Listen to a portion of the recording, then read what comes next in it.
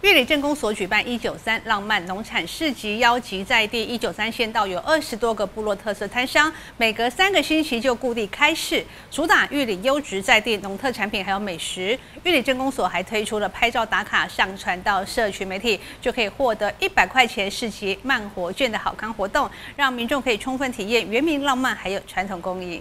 自己酿的美酒，还有族人藤编的背包，以及在地手作饰品、衣服等等。这里是玉里镇公所举办的“一九三浪漫农产市集”，邀集了在地一九三县道二十多个部落特色摊商。除了不知道它有优质的农产品，另一个因纵然要采购、要去接触，也因为交通的便利。产生了啊，我们在地的这些优质生产的农产品啊，没有办法得到一个好的这一些通路哦。以透过这个活动，能够得到好的买家，让他们未来好的优质农产品能够得到好的这个客户跟好的卖家，让他们的经济能够繁荣。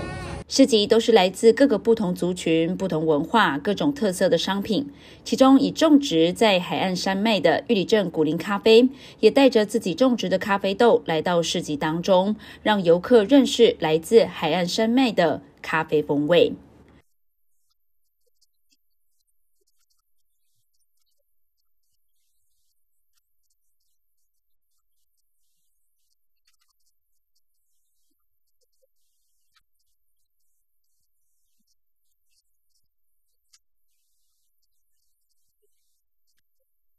另外，也有从泰林林雅部落来的稻农，特别透过市集来推广一九三线有机稻米，以及更认识有机稻田区。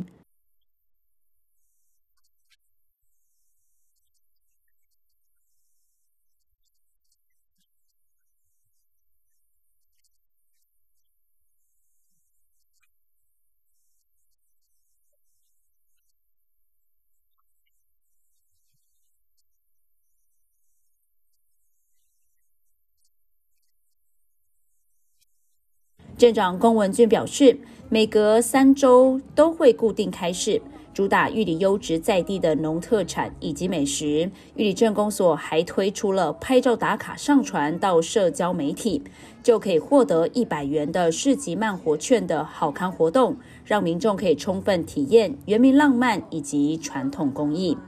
记者高双双玉里镇采访报道。